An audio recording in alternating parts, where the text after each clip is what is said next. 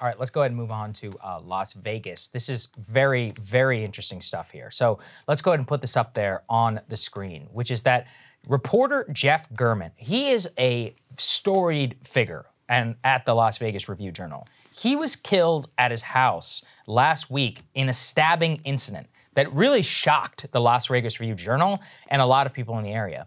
German had done a lot of different series. He did one called Mobbed Up, which is a podcast series about the history of Las Vegas. I actually knew a lot about him because I read a lot of his stuff that concerned the uh, Las Vegas shooting. I was fascinated by that shooting. I still, there's a hell of a lot of questions Yeah, around what absolutely. exactly happened on that day. And not like the FBI has ever given us any good uh, story. So long after the national press stopped reporting on this, he was one of those dogged people really digging into the details. He also was digging into Las Vegas politicians. And that is where it seems that this all leads back to. So, just this morning, Robert Telles, who is the Clark County Public Administrator, was arrested on suspicion of murder in the stabbing of Jeff German at his house. The details of this are genuinely shocking. So, Robert Telles like I said, he's the Clark County Public Administrator, had been the subject of repeated investigations by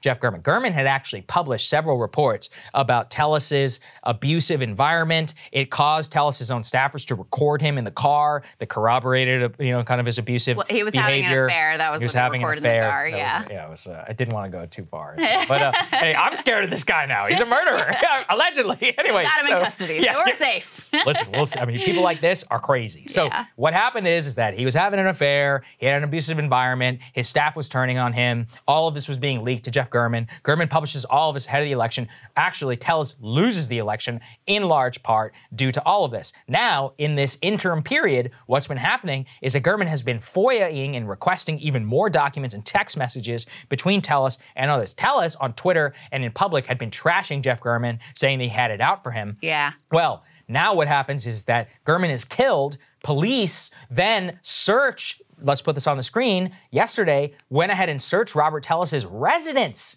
and at that residence, they towed away a red GMC Yukon, which matches the exact description that police had put out for the actual murderer, saying that the suspect who has, uh, drives a GMC Yukon between 2007 2014 with chrome handles. That's exactly the car that they towed away from this guy. Uh, Telles was uh, interrogated by investigators at the scene uh, on his, at his house. Telles refused to answer any questions and appeared very perturbed whenever he was going back into his uh, garage. And then uh, this morning, we get the news he was formally arrested on charge with murder uh, for murdering allegedly Jeff. Ger- I mean, this I don't even know how to describe. I mean, to have a reporter who did his job and exposed the wrongdoing of a public official, and to then have that public official straight up mur- not just kill, like he stabbed him to death. That is a, cr- a, a you know, that is Deeply personal. Deeply I mean,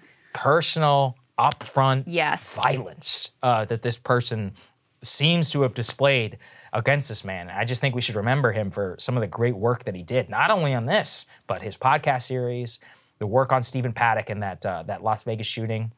He was, you know, 60 something years old.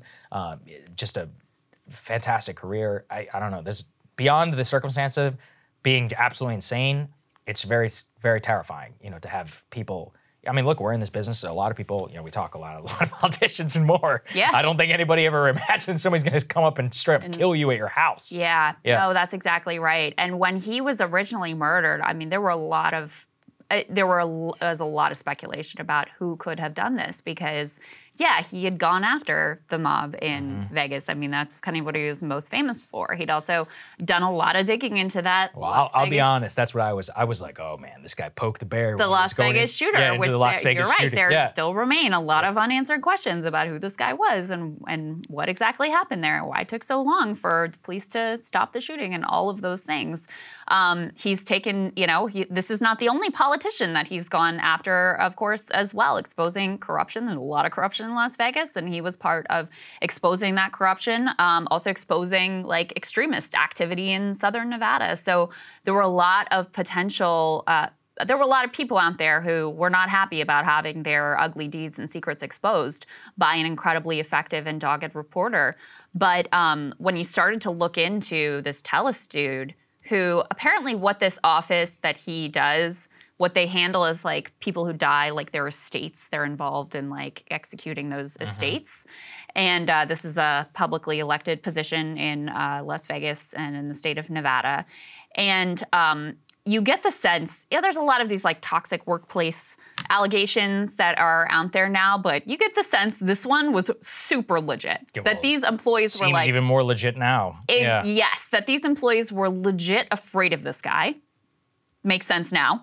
Um, and you know that they felt like the only recourse was to sort of like you know leak to this to, to the press, and then ultimately one of the former employees ends up running against him in the primary. That's who defeats him. He ends up these these revelations in the press were so damning that um, he didn't just lose to this person. He got third in the Democratic primary behind even someone who didn't even campaign. So clearly, this was the deciding factor in terms of his election.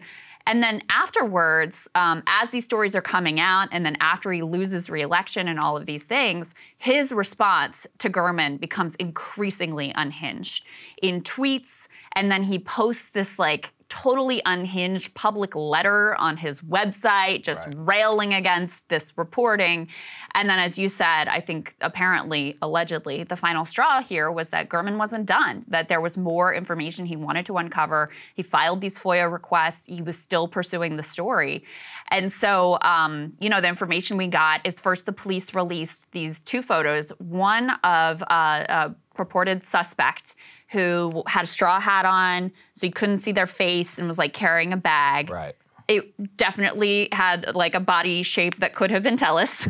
And then um, this picture of this vehicle that then reporters are like, that That's looks your like car. Telles's car. yeah.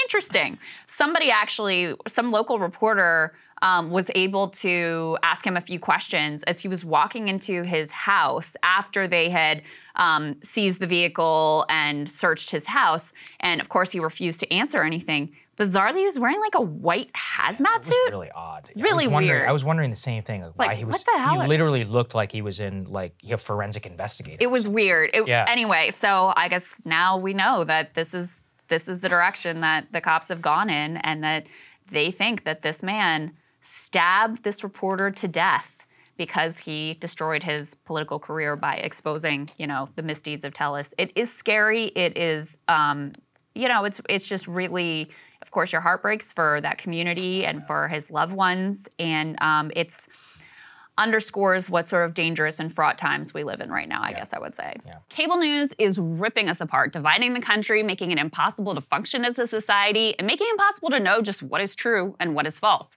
But the good news is they are failing and they know it.